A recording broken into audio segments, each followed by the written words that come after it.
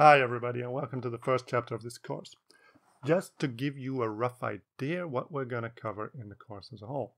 So in this chapter we're just going to learn the basics. We are going to create something like this, which consists of seamless tiles, which we are going to create in Krita. We are going to use Inkscape to create the background, the sky background, and we are also going to drag and drop these tiles in Inkscape to create our digital art tile map world. By the way, this course is part of a larger course. You can find the course on Udemy and Skillshare. If you're interested, you can find a link in the description. So in this introduction video, we are first going to have a closer look at the course roadmap. After that, we are going to have a closer look at the contents of this chapter. And then we're going to talk quickly about the prerequisites of this course. Finally, we are going to talk about how to get the best out of this course. So we are currently in chapter 1. In short, we are going to learn about creating individual seamless tiles and then we're going to learn how to use Inkscape to use those tiles to create a tile map. Chapter 2 is going to be all about so-called cheats in Krita. In short, we are going to learn to use some of Krita's advanced tools to add assets like these. One of the things we will be learning is how to transform high resolution pictures into pixel art. Some people would consider this cheating because Krita's tools and algorithms are doing most of the heavy lifting and we are not really drawing ourselves. But in my opinion, it's not really cheating, it's just taking advantage of technology. There is something to be said for doing things the old fashioned way because it helps you to get more insight. But on the other hand, why make your own life harder when you can use these tools in Krita to make your life easier?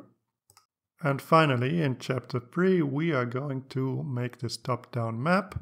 Some of the interesting things we will learn is how to make images and photographs seamless. And we are also going to learn how to make tiles which are rotationally seamless. In other words, tiles which we can rotate and they will still be seamless with the neighboring tiles. At the time of recording this, I haven't finished chapter 2 or chapter 3 yet. Follow me or subscribe or whatever you want to call it to make sure you don't miss out on these chapters when they come out.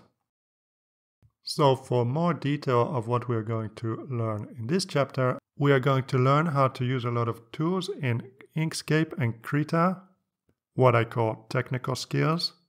And we're also going to get some hand on practice with some what I call creative skills, specifically in this course about pixel art. For a more detailed list, I've created this self evaluation checklist, which you can read through, and at the end of this course, you can use it to evaluate your own progress and make sure that you have gotten the most out of this course.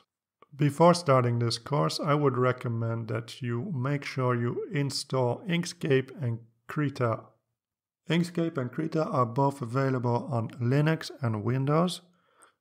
Krita is also available on Mac and if you want to install Inkscape on Mac, it's a bit more tricky, so I recommend, if possible, to rather use a Windows or a Linux computer. You also need to have a little bit of patience and perseverance. If you want to get the best out of this course, I recommend the following process. First, watch the whole video. No need to take notes or anything like that unless you want to. Obviously, you can pause and rewind if you get a bit confused and lost, but the goal shouldn't be to understand every single detail, but just to get a general overview. At the end of each video, I usually give a so-called homework. I recommend that you restart the video and follow this video step by step. In this way, you will get some hands-on experience about what you have just learned. And hopefully anything you didn't quite understand on the first viewing will become clear when you're trying to do it yourself. In this stage, it obviously makes sense to pause and rewind the video quite often because the pace of the videos is quite high. And in as far as possible, I wouldn't recommend that you copy me exactly, but you do your own thing. Exercise that creative side of your brain. Remember though that I'm not your real teacher and you guys are pretty good independent learners just by the fact that you're here. So if you feel that you learn better in another way, then do it in your own way. Also, sometimes we all get a little tired and we might not have time, but as a teacher, I do recommend this way of learning. Once you're done with your own tile map world, why not share it? Get some feedback, see what other people think of it, maybe get some useful pointers. An outside perspective is always helpful. So that's it for the introduction. Time to get started. In the next video, I'm gonna give you some pixel art tips and tricks.